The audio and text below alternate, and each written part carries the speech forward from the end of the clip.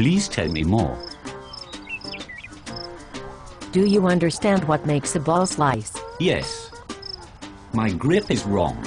I stand too far back from the ball. Let me stop you there. Why do you think your grip is wrong? Who told you it was wrong?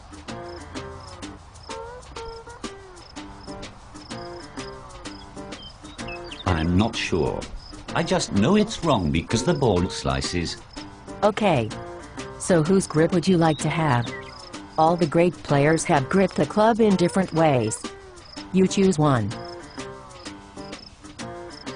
Bernhard Langer has a strong grip. I would like that one. Why? Because it's a hooker's grip. Oh really? A hooker's grip that's interesting. Does that mean that Langer cannot slice the ball with his hooker's grip? Um, I'm not sure. Where are you going with this? Tell me more.